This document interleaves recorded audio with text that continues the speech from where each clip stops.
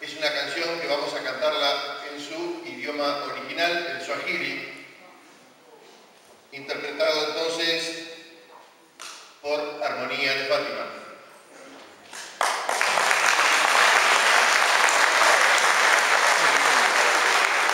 Facundo. Facundo. Facu. Date para allá.